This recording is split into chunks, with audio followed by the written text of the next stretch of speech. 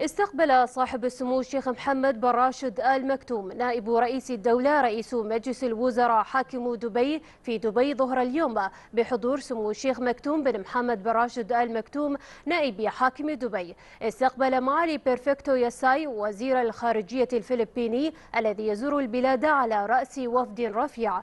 وجرى خلال اللقاء استعراض عدد من القضايا الإقليمية والدولية ذات الاهتمام المشترك وسبل تعزيز علاقات علاقات الصداقة والتعاون بين دولة الإمارات وجمهورية الفلبين من خلال تبادل زيارات رسمية بين المسؤولين في البلدين. واطلع صاحب السمو الشيخ محمد بن راشد آل مكتوم خلال اللقاء على فحوى نتائج الاجتماع المشترك الذي جرى بين معالي الدكتور أنور بن محمد قرقاش وزير الدولة للشؤون الخارجية والضيف. وأشاد سموه بالدور البناء لأبناء الجالية الفلبينية في الدولة عبر المساعدة المساهمة بنهضة البلاد العمرانية وغيرها من القطاعات.